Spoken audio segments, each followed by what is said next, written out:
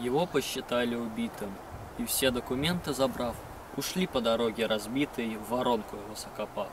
Но он оказался живучим, оттуда и силы взялись, и выбрался из-под липучей, холодной липучей земли. Он был оглушен и контужен, и долго не мог он понять, зачем и кому было нужно живого его зарывать. А понял и грудью на пашню. Ремень где, медаль, сапоги. И так ему сделалось страшно, что лучше он вправду погиб. Уж лучше и вправду навеки ему земляную дыру, чем так вот случайно нелепо остаться в фашистском тылу.